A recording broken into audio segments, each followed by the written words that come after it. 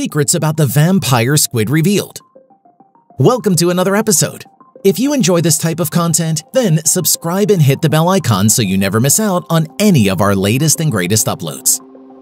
This gentle scavenger floats through the deep sea collecting marine snow and other drifting debris with long feeding filaments. Despite its name, the vampire squid is not a squid. Its unique characteristics set it apart from other cephalopods and help it survive in the ocean's darkest depths. Classification Scientists name this animal Vampyroteuthis infernalis, which means vampire squid from hell. But this name is misleading. It's not a squid at all. It sits alone in phylum Mollusca as the only living member of the family Vampyroteuthidae. In fact, the vampire squid has a history of misclassification. When it was discovered in 1903, it was classified as a type of cirrate octopus like the flapjack octopus since it has webbing between its arms and a pair of fins on its mantle. In the 1940s and 50s, however, scientists determined that it was neither an octopus nor squid, but part of a different group based on its unique features. Appearance What big eyes you have! One of the vampire squid's most striking characteristics is its large eyes. In fact, it has, proportional to body size, the biggest eyes of any living animal. If you watch a video of a vampire squid, you might see its eyes glow bright blue. But they're not actually blue. A vampire squid's eyes are clear, but when illuminated by the ROV's lights, they reflect the surrounding water and appear blue. Bright blue bits At the tip of each of the vampire squid's arms, a light-producing organ produces bright blue bioluminescence. Tentacles and filaments the vampire squid has two fine tentacles or filaments that can extend up to 8 times the length of its body. Each filament has tiny hairs and sensory nerves that help it sense its surroundings and possibly detect food. Cloak When startled, a vampire squid inverts its webbed arms, producing a cloak that covers its mantle. This motion exposes spiky-looking fleshy appendages called cirri on the back of its webbed arms, usually iridescent. Colors a vampire squid can be a reddish rust color or black. Its color varies by region. Off the coast of California, vampire squids are rust color, but in other parts of the world are black.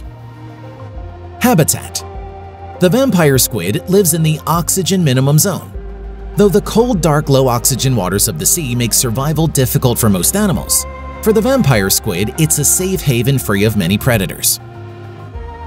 A seafood diet the vampire squid's keen sight likely allows it to see larger particles of marine snow to eat them.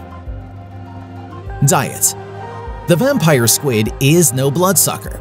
It's a detritivore, meaning it eats dead organic material. It's the only living cephalopod species that doesn't eat live prey. Defense strategies Unlike most other cephalopods, the vampire squid doesn't produce ink. It uses other strategies to help it stay safe from predators regrowing limbs. If the top of one of the vampire squid's arms gets broken or bitten off, it can regenerate, a small sacrifice in exchange for a quick escape. Mating Unlike most other cephalopods, a vampire squid reproduces multiple times in its life. A male vampire squid transfers his sperm to the female with his funnel, a cylindrical muscular structure found in all cephalopods used for respiration and movement. The female uses the sperm to fertilize her eggs, then releases them into the water column. She releases only a few eggs at a time and uses relatively little energy when spawning. Life cycle After the vampire squid egg is fertilized, it develops into larva with a large head and eight short arms. As a juvenile, the vampire squid has four fins on its mantle.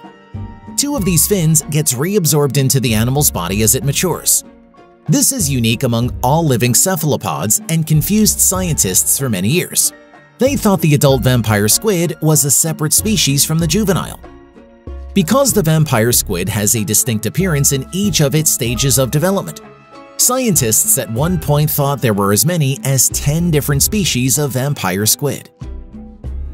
Predators The part of the deep sea the vampire squid calls home is low in oxygen, and therefore also free of many predators.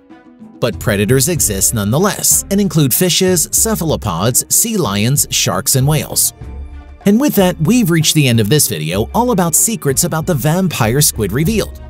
If you enjoyed this video and found it helpful, don't forget to leave a like and subscribe for content just like it.